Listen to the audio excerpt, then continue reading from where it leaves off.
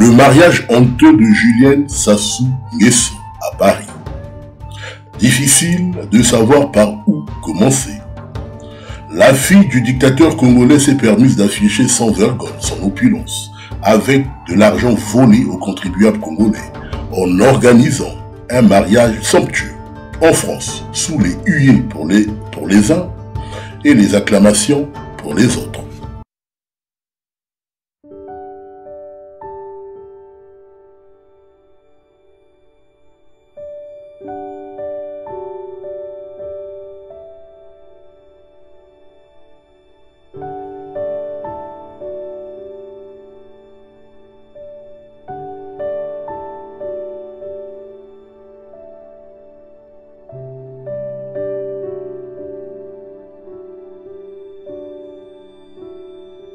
Une scène honteuse lorsque l'on connaît l'état dans lequel se trouve le Congo. Une image qui vient ternir, une fois de plus, son géniteur. Comment comprendre que le Congo est en quasi-cessation de paiement? Les grèves s'étendent sur l'ensemble du territoire. La misère rampe à Baboui dans le pays. Sans gêne, ni honte, la fille du dictateur Denis Sassou Nguesso se permet de narguer le peuple congolais de la sorte en organisant un mariage pompeux en France, dans la ville de Paris, avec l'argent volé du contribuable congolais.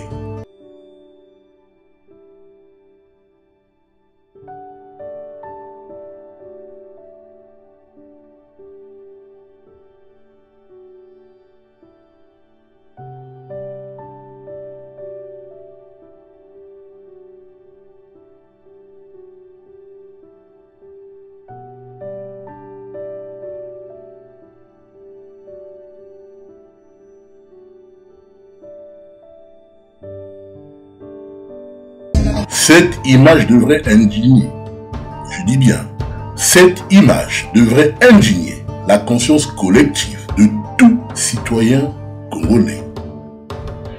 Tous les secteurs sont en quasi faillite. La santé est inexistante. Comment peut-elle se permettre d'organiser un tel mariage avec l'argent du peuple congolais alors que les Congolais souffrent? Et vivent dans une extrême pauvreté. Oui, euh, c'est la réalité du Congo-Brazzaville. Nous sommes bien au CHU, oui, le cadre, nous sommes au CHU, un centre hospitalier universitaire de Brazzaville. Pour une petite pluie à peine de 20 minutes de cela, voilà, les gardes malades n'ont plus là où s'abriter.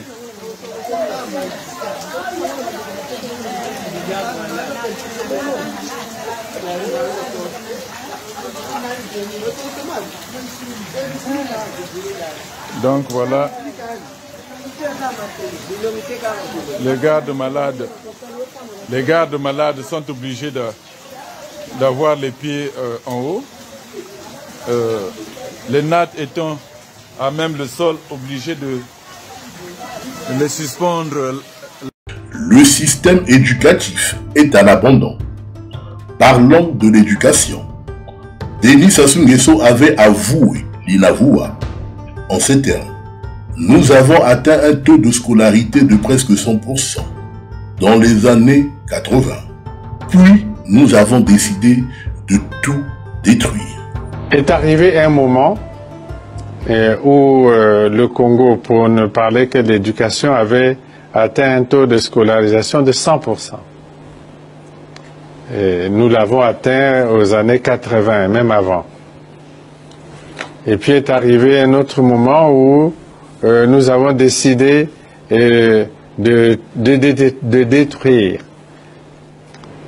Et le taux de scolarisation a baissé. Comment peut-on supporter un, un seul instant les propos d'un tel monstre, d'un criminel qui s'est donné pour mission d'appauvrir le Congo au profit de sa famille biologique et politique, mais surtout d'abêtir, je dis bien d'abêtir la population congolaise.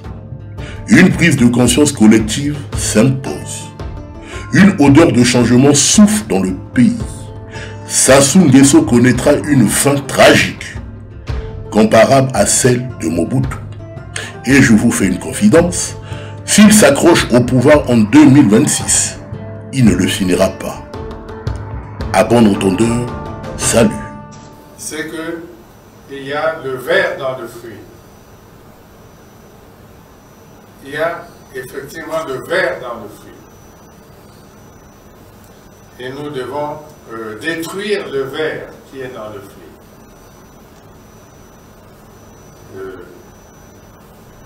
C'est la vraie décision. Détruire le verre qui est dans le fruit. Peut-être pas seulement dans le secteur de la justice, mais dans tous les secteurs d'État. Il y a le verre dans le fruit et nous devons détruire ce verre qui se trouve dans le fruit